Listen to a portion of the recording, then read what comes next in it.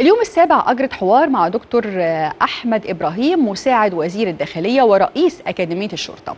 أكد حوار الحقيقة في موضوعات مهمة جدا في هذا الحوار. أولها لا وساطة ولا محسوبية للالتحاق بكلية الشرطة ولا نبحث عن مستوى الأسرة المعيشي لأن دي الحقيقة شائعات كتير قوي بتتردد في الفترة الأخيرة. هتلاقي ناس كده تكلمك عايزين واسطة عايزين مش عارفة إيه عشان ندخل كلية الشرطة. هو بيأكد أهو ما فيش واسطة ولا في محسوبية للالتحاق بكلية الشرطة وما فيش حاجة اسمها بحث عن مستوى الأسرة المعيشي. اللائق هو بس اللي بيقدر يدخل آه كلية الشرطة. الكلام اللي كان قديم ده اتغير خالص في عهد الرئيس عبد الفتاح السيسي.